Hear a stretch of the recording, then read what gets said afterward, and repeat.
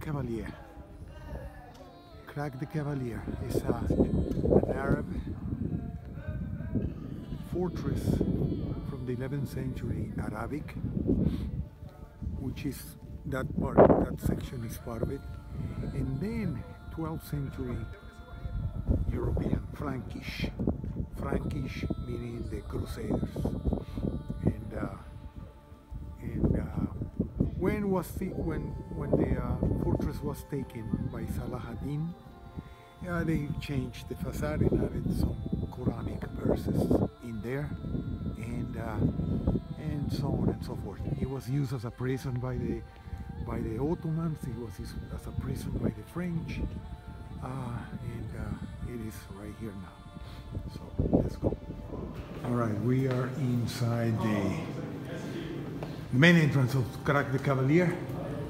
There's the one light dome. Another light dome. Wow, it's beautiful.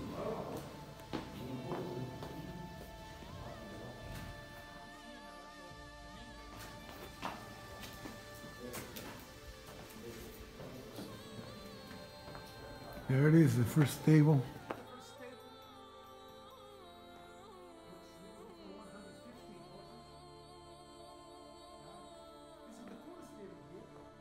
Dark. dark. All the um, all the walls, the rooms, the arts, they were covered with gypsum. You see? Gypsum, but not gypsum alone. Gypsum alone, it's will be can be remain one thousand years. I guess they found some cannonballs there. Ah, look at that. He says uh, for 150 horses.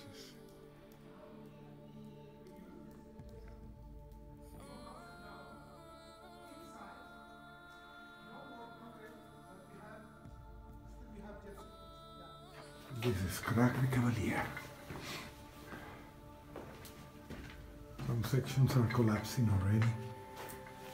Okay, this is a guard's room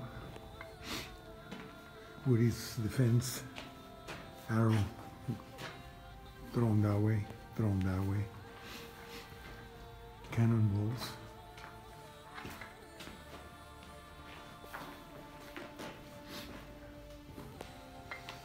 Cannonballs that came out from excavations.